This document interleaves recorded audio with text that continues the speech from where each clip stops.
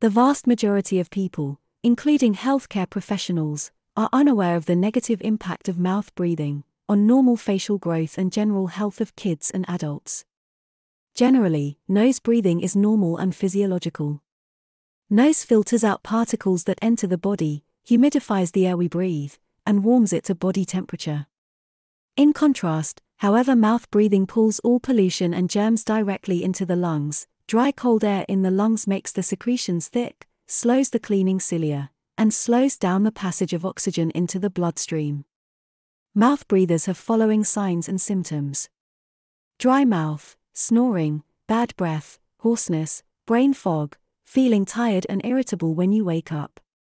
Visually, especially in kids, a long face, an open bite, a high narrow palate, or gingivitis, inflammation of the gum.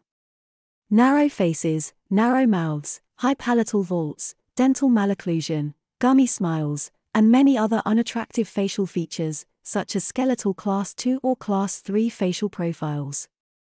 Many mouth breather children exhibit, a significant increase in lower incisor proclination, lip incompetency, and convex facial profile. And mouth breathing is more prominent at night, during sleeping.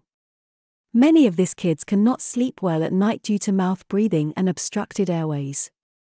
Lack of sleep has direct adverse effects on growth, academic performance, and sometimes it can be misdiagnosed as attention deficit disorder and hyperactivity. The most common cause of mouth breathing is nasal congestion and enlarged adenoids.